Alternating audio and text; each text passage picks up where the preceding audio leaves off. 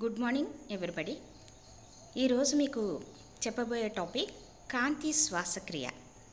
శ్వాసక్రియ కాంతి సమక్షంలో జరగడాన్ని కాంతి శ్వాసక్రియ అని అంటారు. ఈ కాంతి శ్వాసక్రియను పంతొమ్మిది వందల యాభై తొమ్మిదిలో డెక్కర్ అన్న శాస్త్రవేత్త మొట్టమొదట కనుక్కున్నారు. అప్పుడు ఆయన ఏం చెప్పారంటే కాంతి శ్వాసక్రియ యొక్క రేటు కాంతి సమక్షంలో అధికంగా ఉంటుంది. చీకటి కన్నా పగల కన్నా రాత్రి కన్నా పగలు ఎక్కువగా కాంతి శ్వాసక్రియ జరిగితే శ్వాసక్రియ రేటు అధికంగా ఉంటుంది అని మొట్టమొదట చెప్పిన వారు డెక్కర్ నైన్టీన్ ఫిఫ్టీ నైన్లో. తర్వాత క్రోట్కౌ అనే శాస్త్రవేత్త కాంతి శ్వాసక్రియ అన్న పదాన్ని కనుగొన్నారు. సో ఇక్కడ ఏంటంటే సీ త్రీ మొక్కర్లో మొట్టమొదట సిఓ టూను ఆర్యూబీపీ తీసుకుంటుంది. అక్కడ ఆర్యూబీపీ కార్బాక్సిలేజ్ అనే ఒక ప్రోటీన్ అక్కడ ప్రా- పార్టిసిపేట్ చేస్తుంది. సో ఆర్యూబీపీని కార్బన్ డైఆక్సైడ్ తీసుకుంటే ఆర్యూబీపీ కార్బాక్సిలేజ్ అనే ఎంజైమ్ పార్టిసిపేట్ చేస్తుంది. ఒకవేళ ఆర్యూబీపీని ఆక్సిజన్ తీసుకుందనుకోండి ఆర్యూబీపీ ఆక్సిజనేజ్ దీన్ని రుబిస్కో అని మీకు చెప్పాను. రుబిస్కో అనేది వృక్షరాజ్యంలో అతిపెద్ద protein. So RUBP carboxylase or RUBP oxygenase అని సీ త్రీ మొక్కలు చెప్పినప్పుడే మీకు మెన్షన్ చేశాం. సో ఇప్పుడు ఈ శ్వాసక్రియ మూడు ర- మూడు ప మూడు అంగాల్లో జరుగుతుంది. అంటే ఒకటి మైటోకాండ్రియా ఒకటి పెరాక్సిజము మూడోది హరిత రేణువు ఈ హరిత రేణువులోనూ సగం సైకిల్ జరుగుతుంది. పెరాక్సిజోమ్లో సగం సైకిల్ జరుగుతుంది మైటోకాండ్రియా సగం సైకిల్ జరుగుతుంది. దీనిలో సెరీన్ అనే రెండు కార్బన్లు కలిగిన కాంపౌండ్ ఏర్పడుతుంది. అలాగే గ్లైసిన్ అనే మూడు కార్బన్లు కలిగిన కాంపౌండ్ నుంచి సెరీన్ ఏర్పడడం దీనిలోని ముఖ్యాంశం. సో ఇక్కడ ఆక్సిజన్ సమక్షంలో శ్వాసక్రియ జరుగుతుంది కాబట్టి దీన్ని అది కూడా ఎప్పుడు జరుగుతుంది? పగలు కాంతి సమక్షంలో జరుగుతుంది కాబట్టి దీన్ని కాంతి శ్వాసక్రియ. దీన్ని పీసీఓ అని కూడా అంటాము. అలాగే సి టూ సైకిల్ అని కూడా అంటాము. పీసీఓ అంటే ఫోటోసింథటికల్లీ కార్బన్ ఆక్సిడేషన్. కిరణజన్య సంయోగక్రియ పరమైన కర్బన ఆక్సీకరణం. ఇక్కడ ఆక్సీకరణం అనే ప్రాసెస్ జరుగుతుంది. ఆక్సీకరణం దీన్ని కాంతి శ్వాసక్రియ అని అంటారు. ఇందులో సి టూ సైకిల్ అని కూడా అంటాము. దీనిలో రెండు కర్బనాలు కలిగినటువంటి కాంపౌండ్ కూడా దీనిలో ఏర్పడుతుంది కాబట్టి దీన్ని సి టూ సైకిల్ అని అంటారు. అలాగే మొట్టమొదట ఆక్సిజన్ని ఆర్యూబీపీ తీసుకున్నప్పుడు అది ఫాస్ఫోగ్లెజరిక్ ఆమ్లము మరియు ఫాస్ఫోగ్లైకోలేట్ కింద కన్వర్ట్ అవుతుంది. సో ఇక్కడ ఫస్ట్ ఏర్పడిన పదార్థము ఫాస్ఫోగ్లైకోలేట్ కాబట్టి దీన్ని గ్లైకోలేట్ సైకిల్ అని కూడా అంటారు.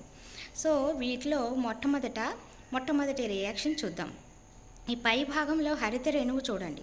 హరిత రేణువులో మొట్టమొదట ఆక్సిజన్ని ఆర్యుబీపీ తీసుకుని అది ఒకటి ఒక వైపునేమో ఫాస్ఫోగ్లిజరిక్ ఆమ్లం కింద ఏర్పడుతుంది. రెండో వైపున ఫాస్ఫోగ్లైకోలేట్ కింద ఏర్పడుతుంది. సో ఇక్కడ ఈ ఫాస్ఫోగ్లిజరిక్ ఆమ్లం కింద ఏర్పడి అలాగే ఫాస్ఫోగ్లైకోలేట్ ఆమ్లం కింద ఏర్పడినప్పుడు ఇక్కడ ఒక ఆర్యూబీపీ ఆక్సిజనేజ్ అనే ఎంజైము దీనిలో ఎక్కువగా కెటలైజ్ చేస్తుంది ఈ రియాక్షన్ని అది first reaction so O two plus RUBP gives rise to PGA plus two phosphoglycolate so ఇక్కడ ఈ ఫాస్ఫోగ్లైకోలేట్ నుంచి ఒక ఫాస్ఫోరిక్ ఆమ్లం బయటకు వచ్చేస్తుంది.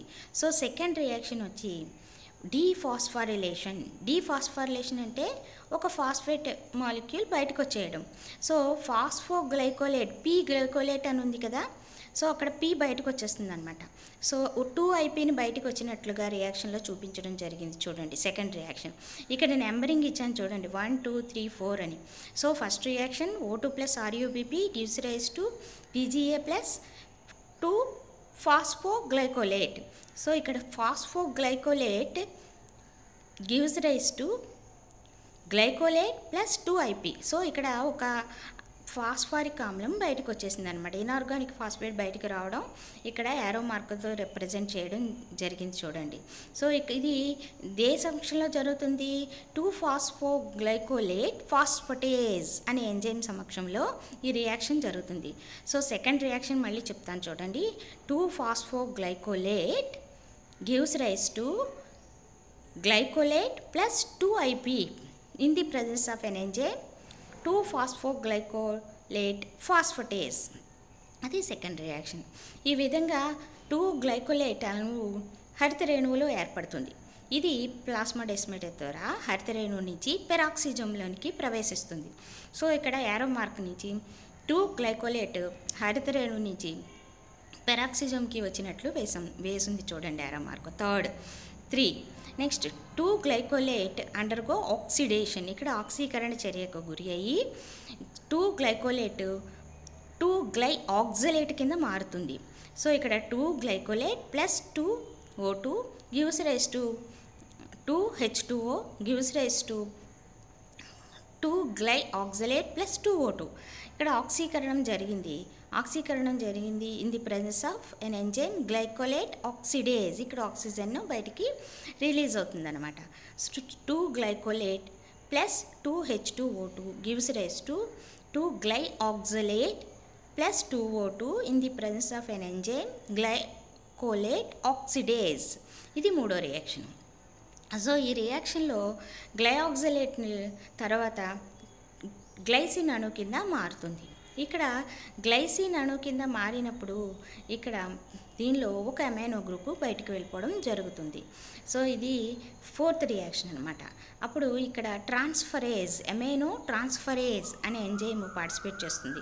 ఇక్కడ glyoxylate by undergoing amino transferase that is transamination reaction it will be formed into glycine ఇక్కడ మీకు గ్లై ఆక్సలేట్ ఒక అణువు ఎన్హెచ్ టూని బయటికి పంపించేయడం వల్ల గ్లైసిన్ కింద మారుతుంది. ఇది పెరాక్సిజంలోని నెక్స్ట్ ఫోర్త్ రియాక్షన్ ఇక్కడ ఎమైనో ట్రాన్స్ఫరేజ్ అనే ఎంజైము పార్టిసిపేట్ చేస్తుంది.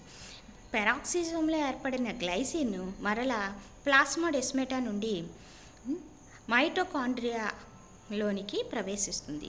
ఈ glycine it will be undergoing D decarboxylation reaction ఇక్కడ కార్బాక్సిలేషన్ ఒక అంటే ఒక కార్బన్ డైఆక్సైడ్ని బయటికి పంపిస్తుంది. సో ఇక్కడ మూడు అణువుల గ్లైసిన్ అంటే మూడు కర్బనాలు కలిగినటువంటి గ్లైసిన్ మాలిక్యూల్ ఏం చేస్తుంది? ఒక సిఓటును బయటికి పంపించడం వలన రెండు కర్బనాలు కలిగిన సెరీన్ మాలిక్యూల్ కింద ఇది కన్వర్ట్ అవుతుంది. సో ఇక్కడ ఏమవుతుంది? గ్లైసిన్ డీకార్బాక్సిలేషన్ అనే రియాక్షన్ జరుగుతుంది. In the presence of an enzyme glycine decarboxylase. So glycine plus glycine gives rise to serine plus CO two ఇక్కడ ఎన్హెచ్ టూ ఎన్హెచ్ త్రీ అణువు బయటకు వెళ్ళిపోయింది. అలాగే ఎన్ఏడి ఎన్ఏడి హెచ్ టూ కింద కన్వర్ట్ అయింది. So ఇక్కడ రియాక్షన్ ఏమని రాయాలి? Glycine plus NAD gives rise to serine plus NADH plus CO two plus NH three so ఈ విధంగా గ్లైసిన్ డీకార్బాక్సిలేషన్ రియాక్షన్ జరిగి సెరీన్ కింద కన్వర్ట్ అవుతుంది. ఇది మైటోకాండ్రియాలో ఫిఫ్త్ రియాక్షన్. ఈ సె ఎక్కడ సెరీన్ ఏర్పడింది మైటోకాండ్రియాలో నెక్స్ట్ ప్లాస్మోడెస్మోడెస్ ద్వారా పెరాక్సిజోమ్లోకి ప్రవేశించేసి ఇక్కడ ఇది ఒక ఎన్హెచ్ టూ గ్రూప్ని కోల్పోతుంది. సో ఇక్కడ టూ ఇన్ వన్ రియాక్షన్ మధ్యలో ఎన్హెచ్ టూ గ్రూప్ ఇక్కడ ట్రాన్స్ ఎమినేషన్ జరిగినట్లు వేసేసాం చూడండి. సో ఇది డైహార్డ్రాక్సీ పైరువేట్ అణు కింద కన్వర్ట్ అవుతుంది. డైహైడ్రాక్సీ పర్వేటానో కింద కన్వర్ట్ అయిన తర్వాత ఇది ఫైనల్గా ఫాస్ఫోగ్లిజరిక్ ఆమ్లం కింద ఏర్పడుతుంది. ఇక్కడ ఎన్ఏడి ఎన్ఏడిహెచ్ టూ కింద రెడ్యూస్ అవుతుంది. సో ఇక్కడ గ్లిజరేట్ ఏర్పడిన తర్వాత ఇది పెరాక్సిజంలోంచి ఈ గ్లిజరేట్ హరితరేణు కణంలోనికి ప్రవేశించి హరితరేణు దగ్గర ఇక్కడ మళ్ళీ కైనేజ్ అనే ఎంజైమ్ ద్వారా ఏ ఏడీపీ కింద కన్వర్ట్ అవుతుంది.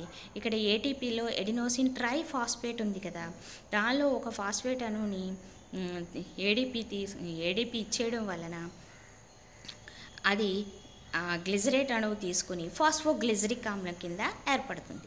సో ఇక్కడ గ్లిజరేట్ అణువుకి కావలసిన ఫాస్ఫరస్ ఎక్కడి నుంచి వచ్చింది? ఏటీపీ నుంచి వచ్చింది. ఎడినోసిన్ ట్రైఫాస్ఫేట్ కదా ఒక అణువు ఇచ్చేసి అది ఏడీపీ కింద కన్వర్ట్ అయిపోతుంది.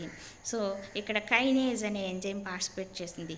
మీకు ఇక్కడ పైరువేట్ డైకైనేజ్ అనే ఎంజైమ్ ఉంది కదా ఆ ఎంజైమ్ ఇక్కడ పార్టిసిపేట్ చేస్తుంది. అప్పుడు గ్లిజరేట్ మాలిక్యూల్ ఒక ఫాస్ఫేట్ అణువుని తీసుకొని ఫాస్ఫోగ్లిజరిక్ ఆమ్లం కింద మళ్ళీ కన్వర్ట్ అయిపోతుంది. ఇది హరిత రేణువులోనికి చేరుతుంది. ఈ విధంగా కాంతి శ్వాసక్రియలో మూడు కణాలు పార్టిసిపేట్ చేస్తాయి. మైటోకాండ్రియా పెరాక్సిజోమ్లు మరియు హరిత రేణువులు దీనిలో ఆక్సిజన్ అణువు ఆర్యూబీపీ తీసుకోవడం వలన ఇది ఆక్సీకరణ చర్య కింద మారింది. ఈ శ్వాసక్రియని కాంతి శ్వాసక్రియ అని అంటారు. ఈ ఎక్కడైతే ఆర్యూబీపీ నుంచి బయలుదేరిందో అక్కడ ఫ్లాస్ఫోగ్లిజరిక్ ఆమ్లం మళ్ళీ తిరిగి ఫైనల్గా మళ్ళీ ఫాస్ఫోగ్లిజరిక్ ఆమ్లం కన్ కింద కన్వర్ట్ అయిపోతుంది. ఇక్కడ ఏంటంటే వాతావరణంలో కార్బన్ డైఆక్సైడ్ శాతం జీరో పాయింట్ జీరో త్రీ ఉంటుంది. ఆక్సిజన్ శాతం ట్వంటీ వన్ పర్సెంట్ ఉంటుంది. ఇది కామన్. కానీ ఒక్కొక్కసారి వాతావరణంలో ఆక్సిజన్ శాతం ట్వంటీ వన్ పర్సెంట్ కన్నా ఎక్కువ అయిపోయినప్పుడు ఇటువంటి ఆక్సీకరణ చర్య జరుగుతుంది. ఇది పగలు జరుగుతుంది. అంటే కాంతి సమక్షంలో శ్వాసక్రియ జరగడాన్ని కాంతి శ్వాసక్రియ అని అంటారు. ఇది అప్పుడప్పుడు సీత్రి మొక్కలు కూడా తప్పకుండా ఈ కాంతి శ్వాసక్రియకు గురి అవ్వాల్సి ఉంటుంది. ఈ కాంతి శ్వాసక్రియ ఎందుకు ఉపయోగపడుతుందంటే సీత్రి మొక్కలను కాంతి ఆక్సీకరణం అనే ఘాతక చర్య నుంచి రక్షించడానికి ఈ కాంతి శ్వాసక్రియ తోడ్పడుతుంది. ఇది రేర్గా జరుగుతుంది పగలు జరుగుతుంది అలాగే ఇది శ్వాసక్రియ ఆక్సిజన్ సమక్షంలో జరుగుతుంది. దీంట్లో కార్బన్ డైఆక్సైడ్ రిలీజ్ అవుతుంది. ఇక్కడ గ్లైసిన్ దగ్గర సిఓ టూ రిలీజ్ అవ్వడం కనిపిస్తూ ఉంది మనకి. గ్లైసిన్ నుంచి ఒక మాలిక్యూల్ సిఓ టూ రిలీజ్ అయ్యి డీకార్బాక్సిలేషన్ జరిగి సెరీన్ కింద కన్వర్ట్ అయిపోతుంది. ఫైనల్గా సెరీను మళ్ళీ త్రీ ఫాస్ఫోగ్లిజరిక్ ఆమ్లం కింద ఏర్పడిపోతుంది. సో ఈ విధంగా ఈ చక్రము మూడు కణాల్లోనూ జరుగుతుంది. అలాగే కాంతి సమక్షంలో జరుగుతుంది కాబట్టి దీన్ని కాంతి శ్వాసక్రియ అని అంటారు. So this is about the the photorespiration. దీన్ని సీ టూ మొక్కల్లో జరుగుతుంది కాబట్టి సీ టూ సైకిల్ అని కూడా అంటారు.